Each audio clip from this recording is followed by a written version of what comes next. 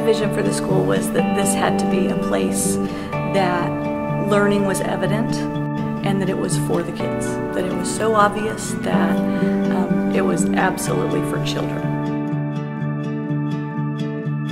We took a, a reverse approach and, and, we started having conversations with, with the children and, and to see that vision of, of uh, what a school should look like come alive through the eyes of a child I think is, is amazing.